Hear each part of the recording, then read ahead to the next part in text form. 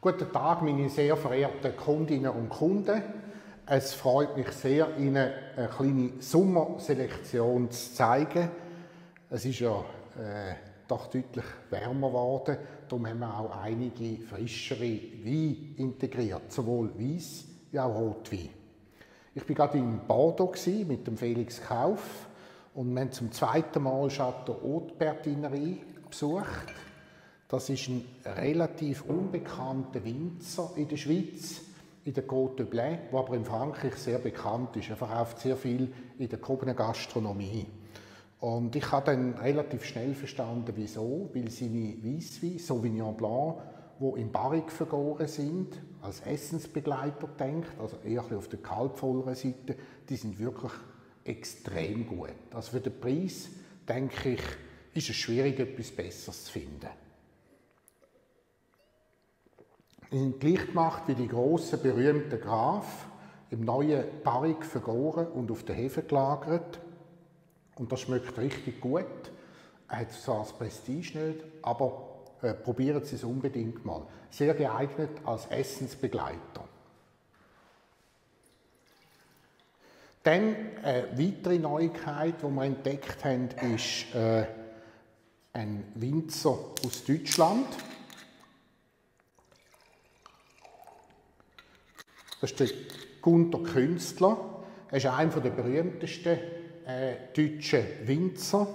Und er hat für uns in Hochheim, das ist südlich von Mainz, gehört immer noch zum Rheingau, hat eine fantastische Füllung von einem ersten Gewächs gemacht. Also wenn man blind neben einem grossen Gewächs probiert, merkt man eigentlich keinen grossen Unterschied. Ein wirklich wunderbarer Riesling, kaltvoll, aber trotzdem sehr frisch und mineralisch. Also im Sommer ein Riesling, äh, ehrlich gesagt, ich kann mir nichts Schöneres vorstellen. Und das ist wirklich sehr bezaubernd. Und er hat trotzdem, der Frische hat eine schöne abgerundete Säure, ist im Holzfass ausgebaut worden.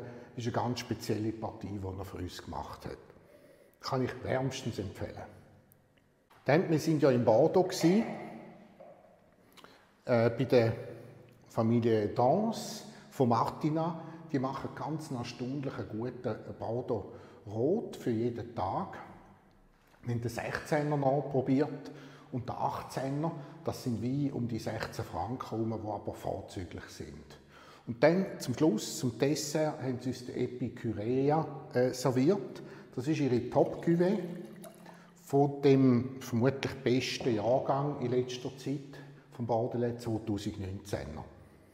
Und den haben sie gemacht wie einen noblen Glacé von den besten Partien, längere Maischenvergärung, in neuen Eichenfässern ausgebaut. Das ist ein toller Wein. Man kann ihn bereits trinken, weil er abgerundete Tannin hat, aber er wird sicher noch einiges zulegen.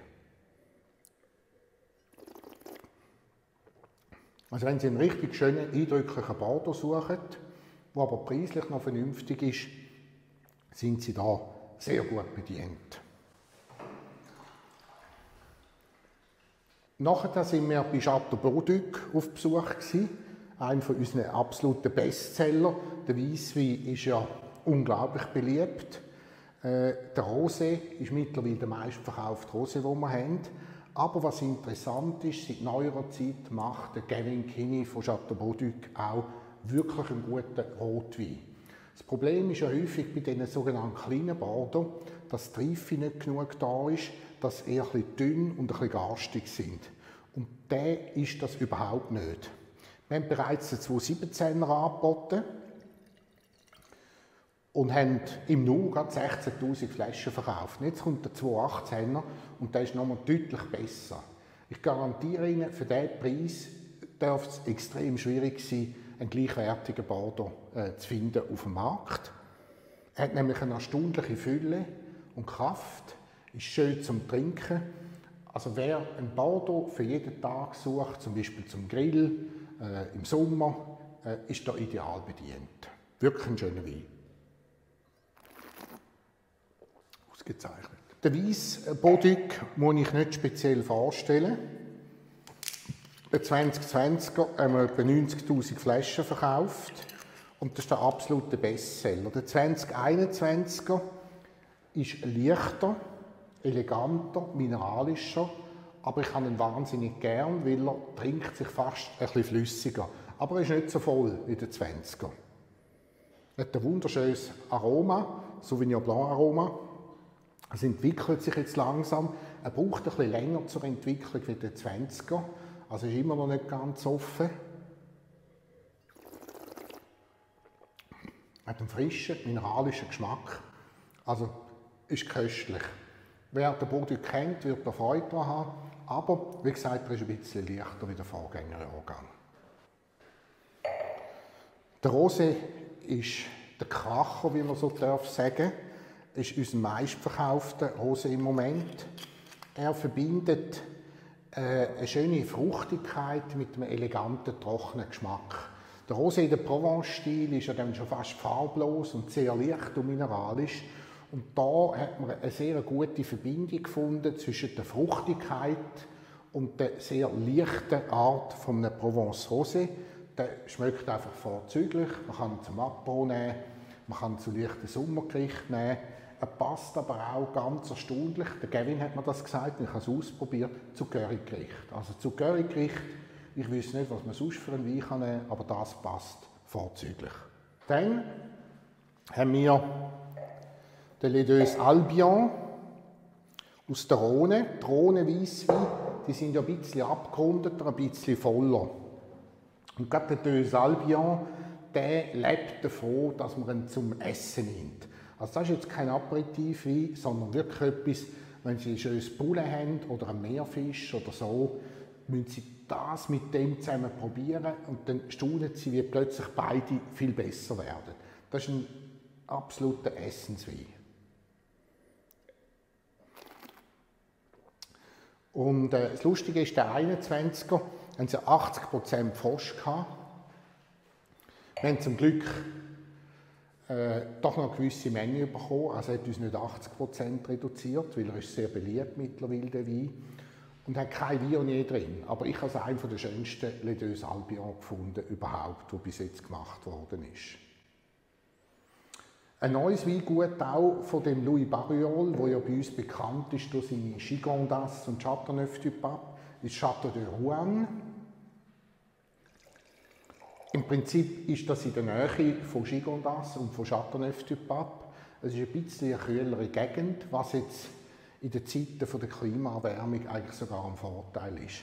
Und es sind 60 Hektare allerbeste Lagen an einem Stück. Und ich bin sehr überrascht, was er da schon im zweiten Jahr zustande bringt. 2020 war wie 2019 ein sehr gutes Jahr der Rhone. Und der 20er hat er noch bisschen weicher, noch bisschen zugänglicher angekriegt. Ich äh, finde es wirklich ein fantastischer Wein, sehr hochstehender Rhone-Wein. Also wirklich für jedermann empfehlenswert, der einen gehobenen Rhone-Wein sucht, aber jetzt nicht gerade in einer verrückten Preiskategorie. Was sehr beliebt ist, bei unseren Kunden, die sich jetzt ein bisschen für Pinot Noir interessieren und keine Angst vor Deutschland haben, ist der Pinot Noir vom August Kesseler. Neben dem von Konrad Salwey und Fritz Keller. Und 2018 war ein hervorragendes Jahr und das merkt man auch am Wein. Es ist ein überraschend voller Wein für einen Pinot Noir. Absolut toll gelungen. Und ich bin im August sehr dankbar, dass er uns so eine hochwertige Qualität gemacht hat und trotzdem im Preis extrem bescheiden geblieben ist. Also die, äh, viele Pinot Noir vom August Kessler kosten mittlerweile weit über 100 Euro die Flasche. Und er hat hier bei uns wirklich eine sehr hohe Qualität gefüllt, weil er einfach auch auf dem Schweizer Markt präsent sein will. Und ich habe ihm gesagt, wenn du als Deutscher mit einem 100 Euro Wein Pinot Noir willst kommen kannst du es vergessen, das zahlt ja niemand. Und hat das zum Glück kapiert und für uns wirklich eine tolle Fülle gemacht. Der 18er ist also wirklich schön. Probieren Sie den mal nicht mit teuren Burgunder, Sie werden staunen. Jedes Jahr ein bisschen mehr verkaufen wir vom Fiaboa. Das ist ein Albarino, ein Weisswein aus Spanien. Berühmt ist ja der Verdejo aus Spanien, zu Recht. Das ist ein fruchtiger Sauvignon Blanc ähnlicher Weisswein, der sehr köstlich ist. Und der Albarino, der ist ein bisschen zurückhaltender in der Aromatik, weniger äh, expressiv. Und wenn man auf Anhieb zuerst mal hat, denkt man, ja, ist noch interessant, aber es haut dann nicht vom Sessel. Und das Interessante ist, wenn man das mit Meeresfrüchten oder Fisch nimmt, dann zeigt der Weiss wie seine Größe. Und es gibt kaum einen Weisswein, der wirklich so schön passt zu Meeresfrüchten wie so ein Albarino. Das sehen Sie auch, wenn Sie in Spanien in einem guten Restaurant sind. Da haben Sie in der Regel viel mehr Albarino wie Verdejo. Und Spanier trinken in erster Linie Albarino zu ihren Meeresfrüchten, weil es einfach besser passt. Und das ist genau so ein schönes Beispiel. Das ist eine der besten Domänen. Und der 21 ist wie der 20 auch sehr gut rausgekommen. Frische, lebendige, attraktive Weisswein, perfekt. Als Essensbegleiter kann er zum Aperitif nehmen. Tun Sie nicht zu lange lagern, ich würde ihn innerhalb von einem Jahr konsumieren. Ein persönliches Hobby von mir sind Weine von der Familie Krutzler im Südburgenland. Das sind sehr spezielle Weine. Es sind äh, säurebetonte Rotweine, frische Rotweine mit einer ganz speziellen Aromatik. Und das ist wie eine äh, Melodie, die auf Anhieb nicht so eingänglich ist, wo man aber muss ein bisschen hören Und wenn man es mal erlickt hat, dann ist man Fan davon. Also ich stand dazu, ich bin Südburgenländer Fan, ich finde das etwas Tolles. Und Familie Kutzler ist der Pionier. Aber das ist jetzt nichts für jemanden, der frisch anfängt Wein trinken und relativ unbedarft an das angeht. Also jemand, der ein rundes, weiches, liebes Wein sucht, ist da am falschen Ort.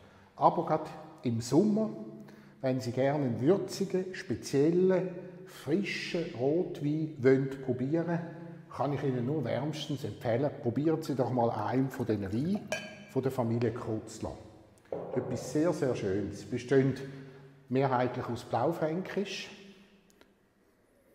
Und die Gegend dort im Süden äh, vom Burgenland, es ist nur noch eine Stunde bis Graz, ist äh, ein mildes Klima, langer Herbst, aber immer kühle Nächte. hat viele Eichenwälder rundherum, gibt ganz tolle Weine, aber eben, es ist ein bisschen speziell.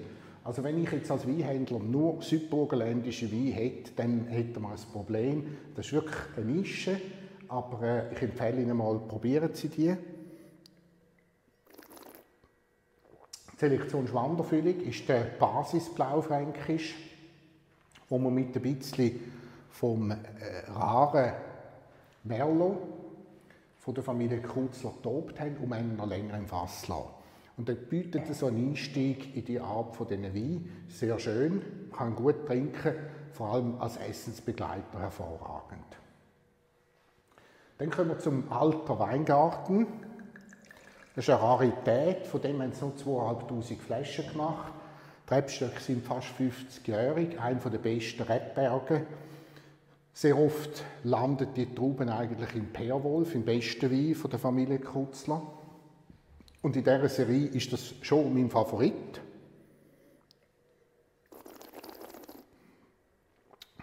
Der hat dann die ganz spezielle Würze, die man am Eisenberg im Südburgenland hat.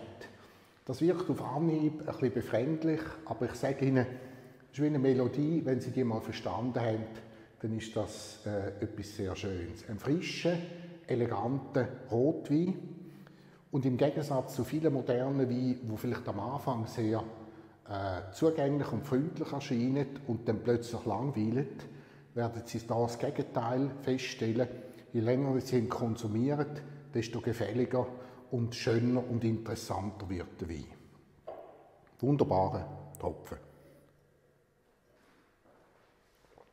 Der berühmteste und beste Wein vom Kutzler ist der Perwolf. So ein, ein Kultwein aus Österreich, 100% Blaufränkisch mittlerweile, von der allerbesten Partien. Im Stil sehr ähnlich wie der alte Weingarten, und äh, wie gesagt, das ist so der Kulminationspunkt vom Blaufränkisch im Südburgenland. Man kann ihn bereits trinken, würzig, intensiv, aber ich würde ihn unbedingt noch ein paar Jahre äh, liegen lassen. Er profitiert noch sehr davon. Was man auch noch mal äh, äh, die Leute darauf aufmerksam machen, ist der Sauvignon Blanc vom Tement. Der Ziringa ist sehr beliebt bei unseren Leuten. Das ist der slowenische Teil von Tement. Das liegt gerade nebenan. Das ist eigentlich ein Rebberg. Und ich habe die Familie gebeten, ein bisschen fruchtbetonteren, süffigeren Ziringa zu machen. Und ich kann Ihnen versichern, er ist eingeschlagen wie eine Bombe. Die Leute lieben das. Wenn sie den mal probiert haben und Sauvignon Blanc gerne haben, sie werden den garantiert wieder bestellen. Fruchtig, frisch, wunderschön. Ich bedanke mich sehr für Ihr Interesse. Ich freue mich, wenn Sie bei uns hineinschauen. Sie können die Wein äh, ohne Voranmeldung bei uns probieren oder am Telefon tun wir Sie sehr gerne beraten. Vielen Dank.